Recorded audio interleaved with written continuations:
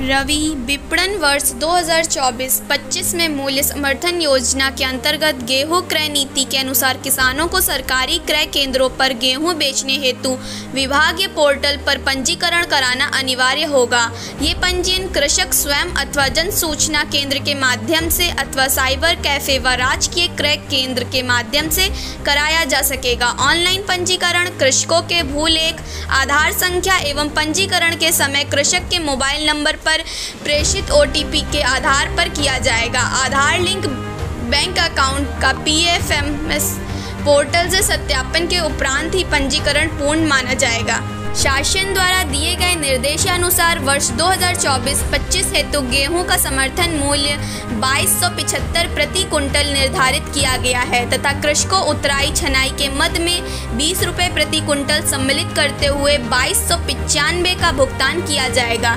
जनपद एटा में इस वर्ष समस्त क्रय संस्थाओं के कुल चौरासी गेहूँ क्रय केंद्र स्थापित किए गए हैं।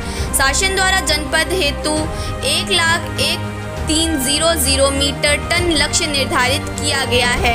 जनपद में अभी तक इक्कीस सौ अड़सठ कृषकों द्वारा पोर्टल पर गेहूँ विक्रय हेतु पंजीकरण कराया गया है, एवं पंजीकरण में प्रगति लाए जाने हेतु समस्त न्याय पंचायतों में कर्मचारियों की ड्यूटी लगाई गई है।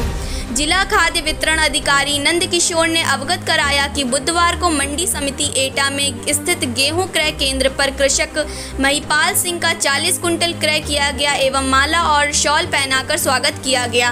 इसी प्रकार जलेसर मंडी में खाद्य विभाग के गेहूँ क्रय केंद्र पर कृषक भी पन्ना लाल से दस कुंटल गेहूँ क्रय किया गया एवं कृषक को मिठाई खिलाकर और माला पहनाकर स्वागत किया गया है।